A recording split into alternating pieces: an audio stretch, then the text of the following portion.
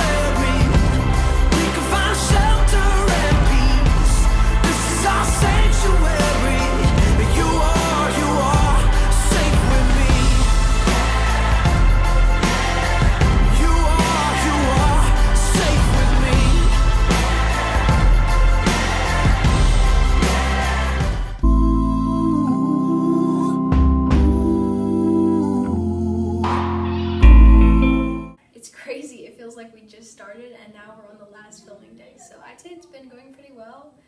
And I'm really excited to see how it turns out. I know we got people working on music. One of my friends is working on making some music for the film, and I'm really excited how it's going to turn out. I think it's been going pretty good. We can get a little behind sometimes, but everyone's working together, and getting it done. Good, it's really fun. I like just being an actor. It was fun to work on that. And I really like set design. It's been going pretty flawlessly. Um, we've had some pretty funny moments while rehearsing and filming. Production's been going well. I like mm, videoing all the different things people do that just is kind of funny. It is the best that we have done so far, in my opinion.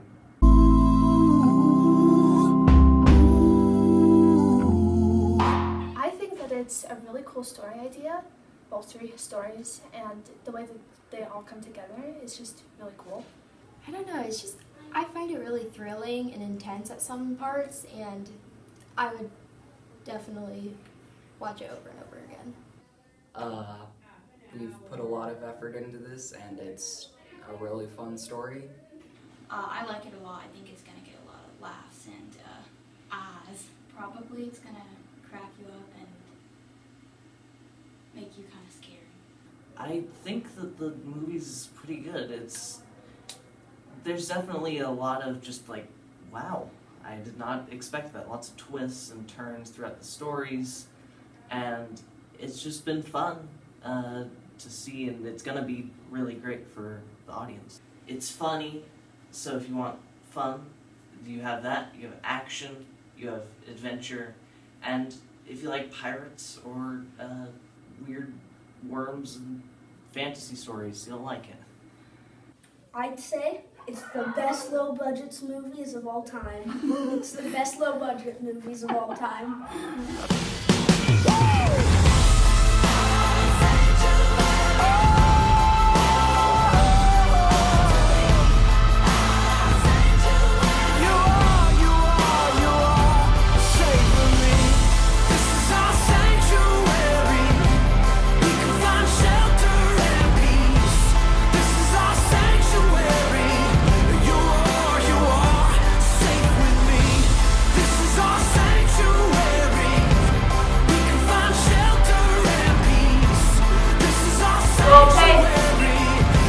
five takes still.